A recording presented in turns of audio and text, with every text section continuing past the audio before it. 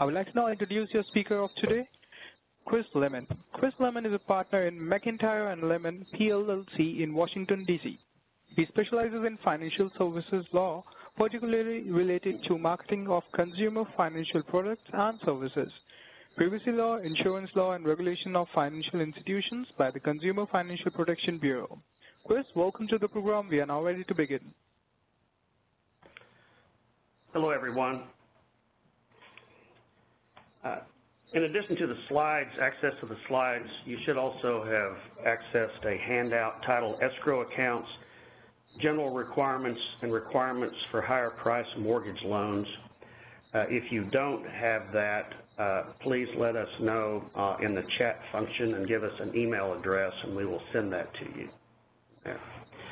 Uh, I will refer to it periodically. The handout is pretty detailed with respect to the subject matter today, um, but I'm also going to be talking about a little bit of additional information uh, as we go through that's not in that document.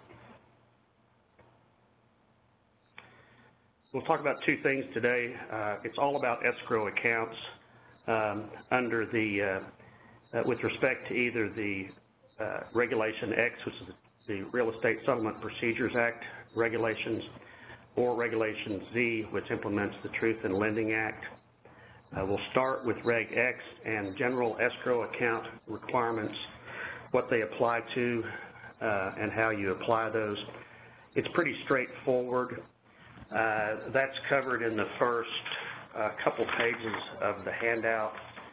The second, which we'll spend more time on, are escrow requirements for higher price mortgage loans.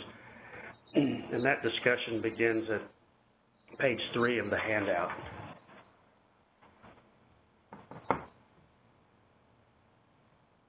With respect to general requirements for, for escrow accounts, uh, here are the topics we're going to hit.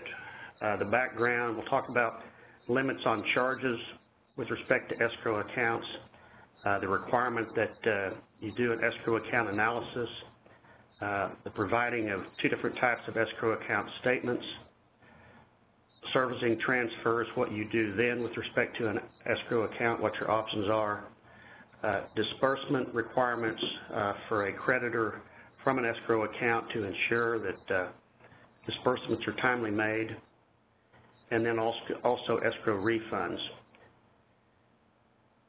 These rules have been in effect for some time. There really hasn't been any revisions to these except when we get over uh,